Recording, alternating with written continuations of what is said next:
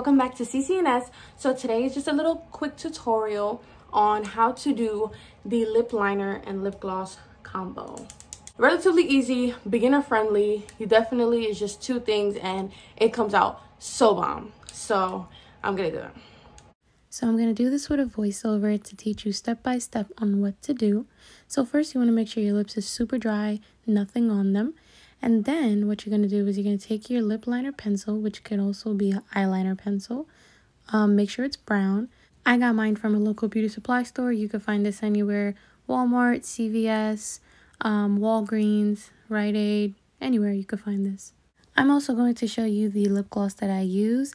It is the Clear LA Color High Shine. You could also find this at any local beauty supply store, Walmart, Walgreens, or Rite Aid, or CVS, and it works really, really good.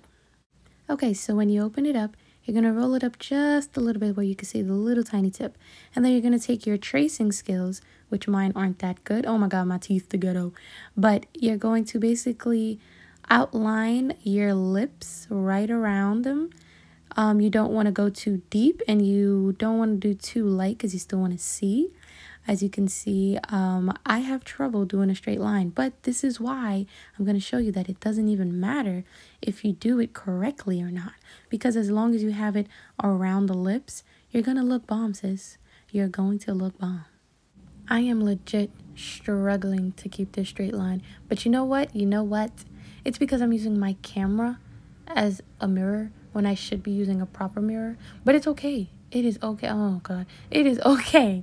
It is okay. Look at me trying to struggle and fix this. Oh my goodness.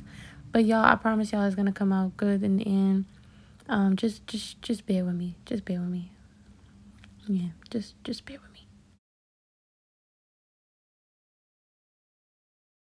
Alright, after watching me fail to keep a straight line just around my lips, um, and now I'm going to apply the LA Color High Shine Lip Gloss which is going to cover up the mess that I made. And if you guys did the same, it will cover up the same for you too.